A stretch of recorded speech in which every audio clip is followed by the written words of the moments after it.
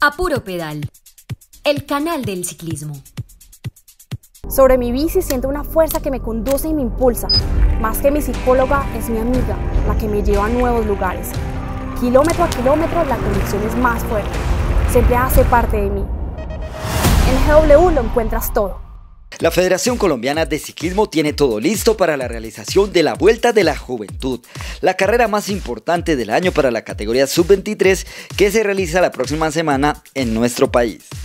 El recorrido de la competencia es el siguiente. Lunes 2 de mayo, prólogo en Ipiales 5 kilómetros.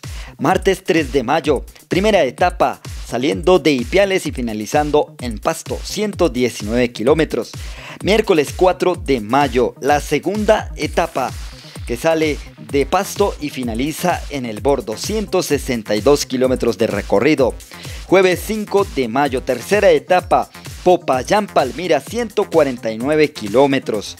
Viernes 6 de mayo, cuarta etapa, Buga Belalcázar, 154 kilómetros. Sábado 7 de mayo, contrarreloj individual, Virginia Viterbo, 23 kilómetros de distancia. Y domingo 8 de mayo, la última etapa, saliendo de Pereira rumbo a Río Sucio, Manizales, 196 kilómetros de distancia. Destaquemos la gran participación para esta carrera 38 equipos han quedado oficialmente inscritos para un total de 218 ciclistas. Recordemos que el último campeón de la competencia es el cundinamarqués Jesús David Peña, quien corrió con el Colombia Tierra de Atletas GW.